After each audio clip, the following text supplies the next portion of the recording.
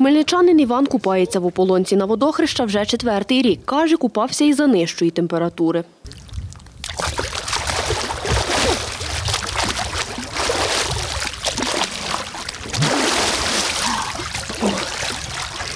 Як? Прохладно. Дуже. Взагалі супер. Не хворію. Не хворіє? Взагалі. Вже років п'ять як. Тетяна занурюється в ополонку вже 15-й рік.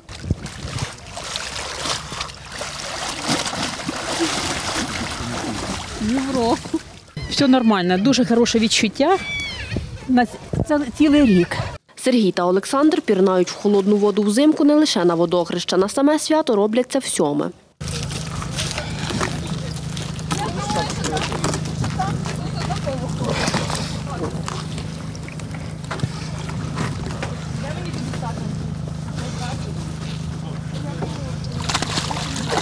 Набагато краще, менше хворіти почали.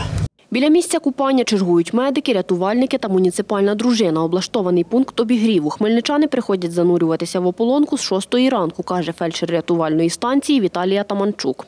І вночі приходять, і цієї ночі теж могли люди приходити. Обично так вони і приходять вночі, і в 12, і в час ночі. Якщо людина в нетверезому стані, для неї це можна сказати велика біда.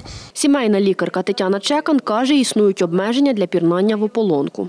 Протипоказом для пірнання є е, захворювання серцево-судинної системи, бронхолегеневої системи. Якщо є якісь алергічні реакції, я за здоровий спосіб життя, але до цього треба йти зважено. Треба підготовку проводити не останній день-два, а це має бути поступово. Організм мусить привикати до е, холодної води починаючи в домашніх умовах е, прохолодна вода, і поступово-поступово можна тоді вже пірнати в ополонки. Заступник директора муніципальної дружини Ігор Лончаков каже, сьогодні слідкують за дотриманням карантинних вимог.